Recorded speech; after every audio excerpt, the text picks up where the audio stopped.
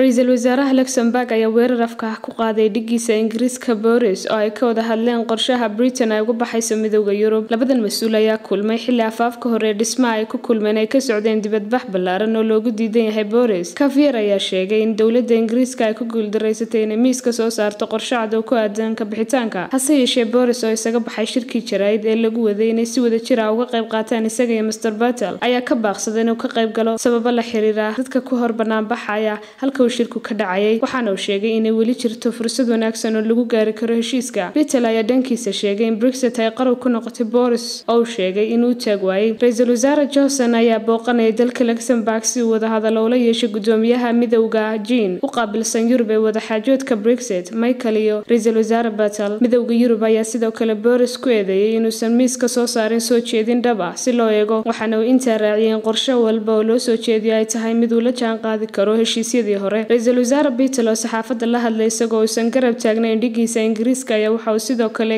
sheegay in boris uu gacanta ku sido mustaqbalka dadka ingiriiska wuxuuna u soo jeediyey inuu la yimaado xal waara oo laga gudbo mushkiladaha taagan. Mar uu taagnaa miiska shirka jaraa'id ayaa waxa kale oo boris uga digay inuusan madax furasho haysan karin shacabka dalkiisa isagoo eegaya danaha xisbiga dalkiisa talada ayaa casiim maxamuud cabdi star t v